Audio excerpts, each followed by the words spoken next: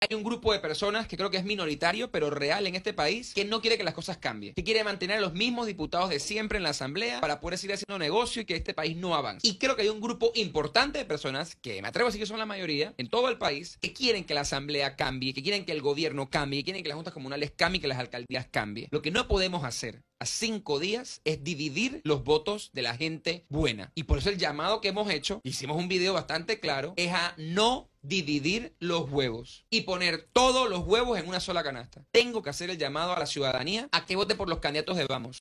No solo porque creo que tenemos propuestas concretas que pueden revisar en la página web, no solo porque hemos recorrido el país, no solo porque no estamos puestos de a dedo, porque cada uno buscó firmas para poder llegar allí, algunos decenas de miles de firmas para poder ser candidatos, demostrando un liderazgo real, sino porque creo que somos la fuerza política independiente que tiene más posibilidades de transformar los números en la asamblea, en las alcaldías y en las juntas comunales. Si nosotros sacamos en un circuito 9000 votos y otra lista independiente saca 9000 votos y otra lista independiente saca 9000 votos, por ejemplo en el 83 y 84, ninguno gana, ninguno gana. Pero si yo pongo estos 27000 votos en una sola lista, ¿tengo qué? Tengo dos o tres diputados. O sea, ¿qué estamos hablando? Si la misma gente buena que está en este país vota concentrándose en una sola, en un solo grupo, y yo hago el llamado, por supuesto, a la coalición, vamos, podemos tener muchos más diputados que si yo voto porque mi, es que mi, y la gente me lo dice, yo lo respeto, ojo, no quiero yo respetar a nadie. Yo respeto la democracia. Es que mi vecina es buena gente. Sí, Flor, pero tu vecina, la verdad es que no va a sacar muchos votos. Y con tu voto vamos a hacer la diferencia entre un cociente o dos cocientes, que es literalmente un diputado o una diputada más buena en la asamblea. Entonces no podemos dividir.